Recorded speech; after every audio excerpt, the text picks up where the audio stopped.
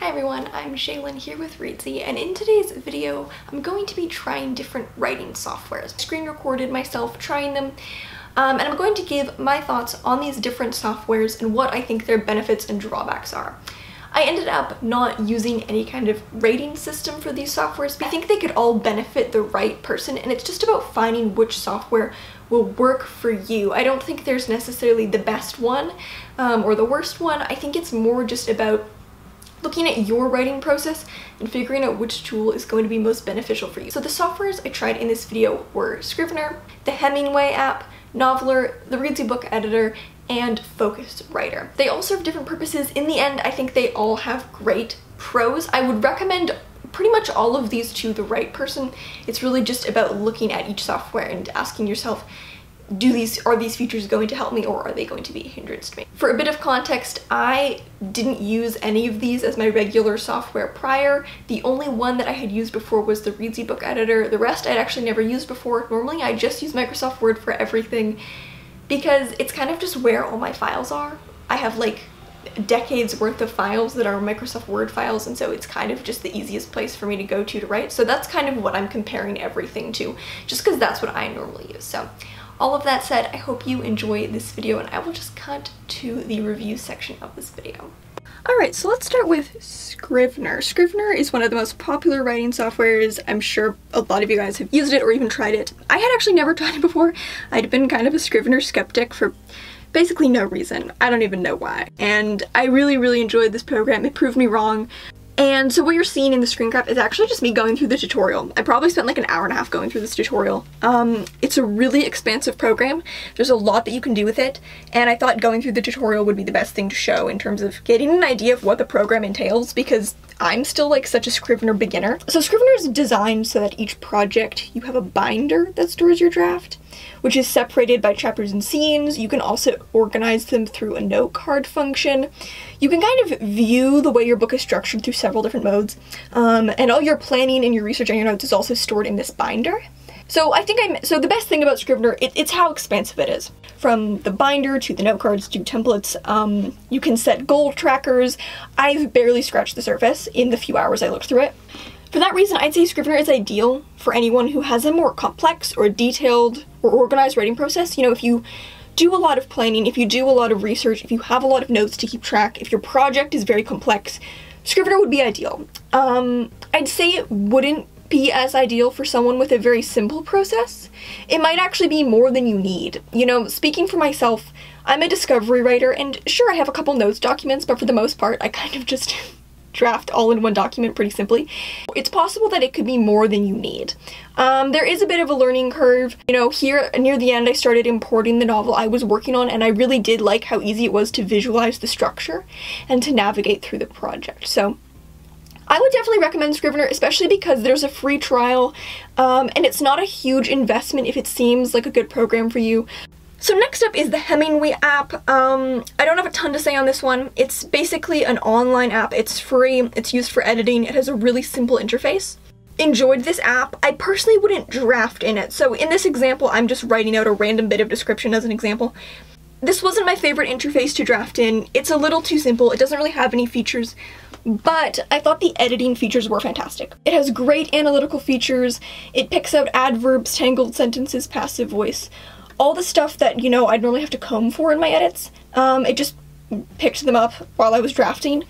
I could definitely see myself using this app again for editing and to run what I write through it. I wouldn't draft in it though, so especially if you're learning to line edit, it'll definitely help you identify weak words or constructions. You know, like it picked out some passive voice for me that like I probably would have had to catch in editing. So now we're on to Novlr. So Novlr has a free trial and it's $10 a month after that.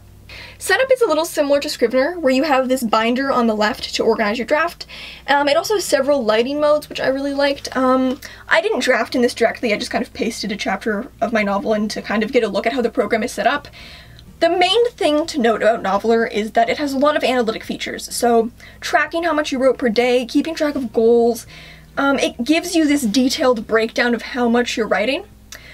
My thoughts on Novlr are this is kind of the only one that I wouldn't recommend to most people, and it's because it's not a bad program, it's a good program, it has good features, But for something that's paid and requires a monthly subscription, I think you can access similar programs that would be more functional for free or just for less money. You know, Novlr, it's like $10 a month. Within a year, you could have bought Scrivener twice. I would recommend Novlr to people who really want to track their writing in a very analytical way and do a lot of analytical work on their writing habits. The drafting features are good, but they're they're fairly standard and I don't think it's worth paying for in my opinion. If it were free, I'd highly recommend it, but as a paid app, I do think you can get more for your money. So that said, now we're going to look at the Reedsy book editor. This is um, our word processing program you can use to export to ebook publishing file formats. So I'm familiar with the Reedsy book editor, I've used it before. It's pretty similar to Novlr in terms of setup, but it's free and I do find it more functional. Um, they're very, very similar in terms of how they look. Novlr does have more analytic features. Reedsy Book Editor has more editing features. Um, so again, it has that Scrivener-esque binder on the side. I added in an epigraph because I love epigraphs. I was actually really excited to notice that there was like a specific place to add an epigraph. I put one from Old Man and the Sea because I was writing a random example about the ocean. Um, there's also a track changes feature that I found really easy to use, way easier than Microsoft Word. Um, so this would be great if you're editing for someone else. Um, and, and great formatting features. I've used it several times before and it's very easy to navigate and use. I think it's a good alternative to something like Novlr that's free and in my opinion, I would prefer it to Novlr anyways. Um, sorry for all the hating on Novlr. Novlr's a good program, but you've got to pay for it. So finally we have FocusWriter. This one's a little different. It's very simple. It's basically designed for focus and not much else. I really like writing in focus mode in Word, and I love the idea of a customizable focus mode that you can set up to look however you like. Love this program in theory. In application, it's a little buggy. It froze, um, it crashed once as I was setting it up. As well, it, it doesn't really have a lot of formatting capabilities. You know, I don't even think you can bold or italicize. At least those shortcuts on my computer didn't work. Um, and the font is extremely small. So if you're if you're setting up a focus writer template, make the font huge. The font I had here was um, Garamond 13 point, which is what I write in in Word. It was practically unreadable. I couldn't even read what I was writing. So I could see myself using this because I like the idea. It really only has one function. It's basically a customizable notepad, essentially, and really nothing else. Doesn't have a lot of functionality, but I do like the one function it has. If I was struggling to focus one day, I could see myself using this. Really, my biggest concern is just that it's a little buggy, and I would be worried about losing work if it were to glitch. So that's all for this video. Thank you so much for watching. Let me know what your favorite writing software is in the comments. Have you used any of the softwares that I tried in this video and what did you think of them? Thank you so much for watching. Remember to subscribe and turn on notifications so you don't miss any new videos from us. We've got new writing, editing, and publishing tips every Tuesday and Friday. Until next time.